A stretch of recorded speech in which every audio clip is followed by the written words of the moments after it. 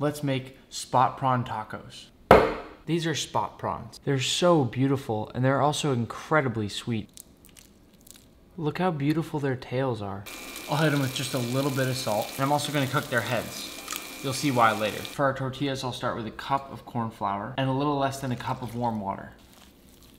Just knead the dough for a little bit and really get it all worked in. Then I'll add a golf ball sized piece to my tortilla press.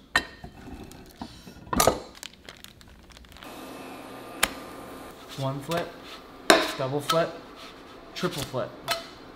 So to plate this up, I'll put a little line of my dill crema. Then I'll lay down a few of my spot prawns, then a nice shred of purple cabbage, and a few cilantro leaves. Look at those colors.